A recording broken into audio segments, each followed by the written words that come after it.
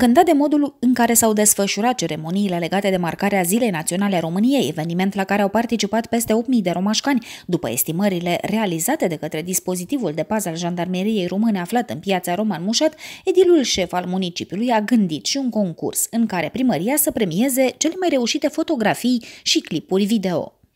Așa cum am anunțat și uh, public prin intermediul rețelelor de socializare, am dorit să și am organizat și o competiție cu cele mai frumoase imagini, fie uh, foto, fie video, uh, pentru a surprinde, surprinde cât mai frumos evenimentele de ieri.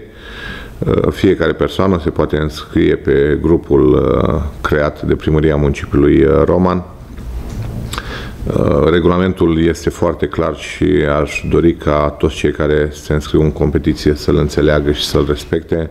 Maxim 3 uh, fotografii sau un videoclip, astfel încât uh, persoanele care vor obține cele mai multe aprecieri din partea celorlalți romașcani să poată fi premiați. Competiția s-a deschis încă de ieri.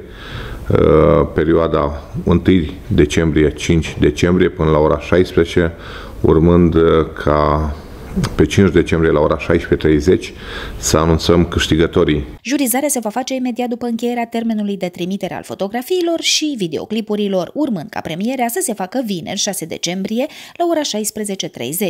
Câștigătorul va intra în posesia unui coș cu bunătăți pentru sărbători.